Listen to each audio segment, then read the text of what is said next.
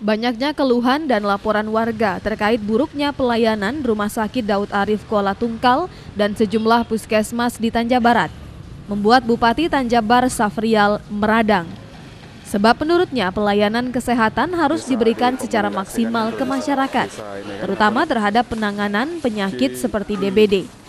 Safrial menegaskan jika dirinya tidak segan untuk mencopot dirut rumah sakit dan juga kepala puskesmas yang tidak becus dalam membenahi pelayanan.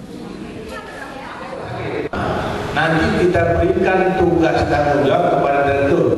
Kalau masyarakat tidak puas, coba. Apa kata orang masyarakat? Minyak dari apa? Besok pagi direktur saya copot. Eh, itu aku copot itu. Menuju ke pelayanan yang baik. Menurut Safrial, pemberian pelayanan kesehatan yang maksimal jangan hanya melihat dari status sosial warga, Dikatakan Safrial dirinya banyak mendapat laporan jika pihak rumah sakit kurang memberi pelayanan yang baik iya. kepada warga kurang mampu.